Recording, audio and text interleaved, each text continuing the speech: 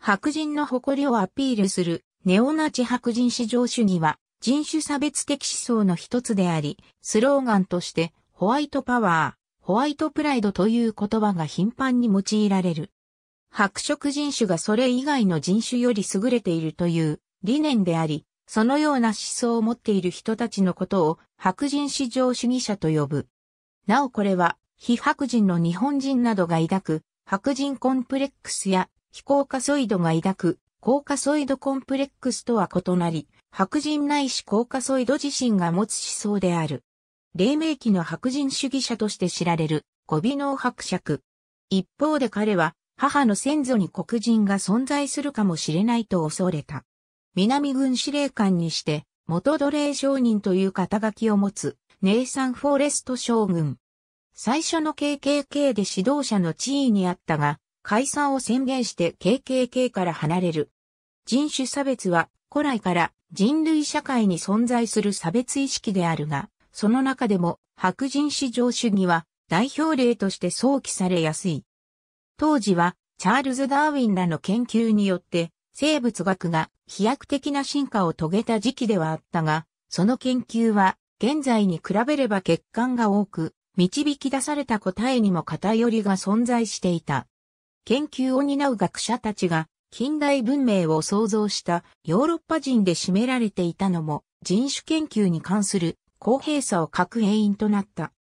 実際、戦術した近代生物学の権威たるダーウィンのいとこは白人至上主義の影響を多分に受け、今日では人種区別思想と考えられている優生学を創始したフランシス・ゴルトンであるが、ダーウィンはゴルトンの優生学に対して一定の評価を与えている。古典的な段階における植民地主義や帝国主義の場合、この人種区別的なイデオロギーは一部の無根拠な差別思想を除き問題なく広まっていた。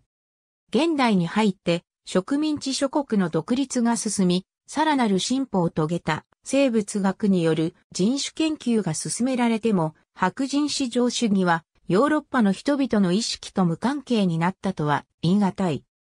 各国憲法、国連憲章などにおける人種区別による人種差別の廃止、人種差別撤廃条約や公民権運動などによる働きかけにもかかわらず、合衆国の法学が白人性の概念を取り上げて問題化しているように、そのイデオロギーは存続している。先に述べた通り、白人やコーカソイドが他人種よりも優越的であるとの主張である。三大人種などの色で区別するよりも的確な人種理念をもとより作られた経緯を持つ。ナショナルアライアンスの指導者だったウィリアム・エル・ピアース博士。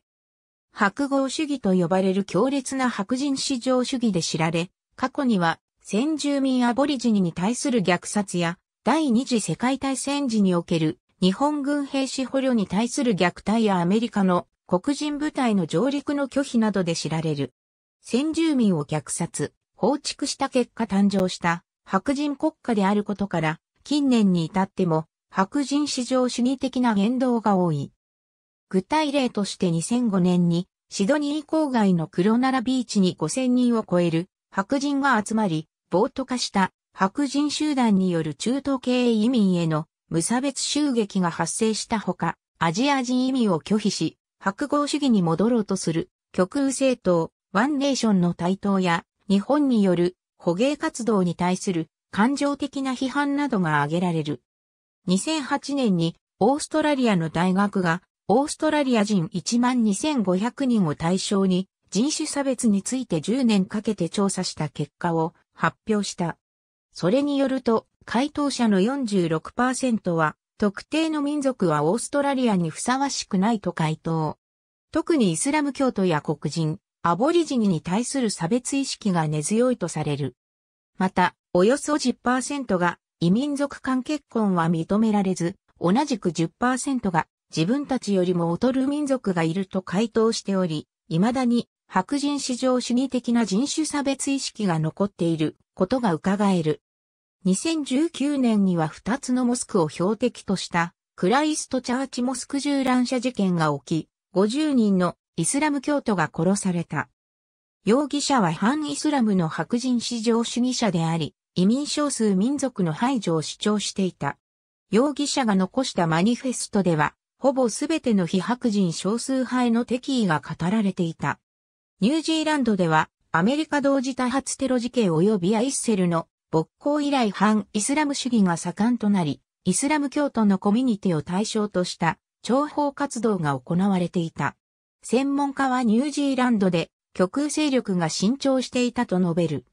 クライストチャーチ自体が白人至上主義者の温床であったとされる。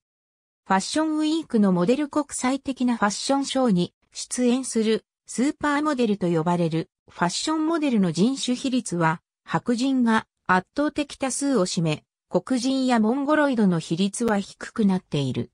ありがとうございます。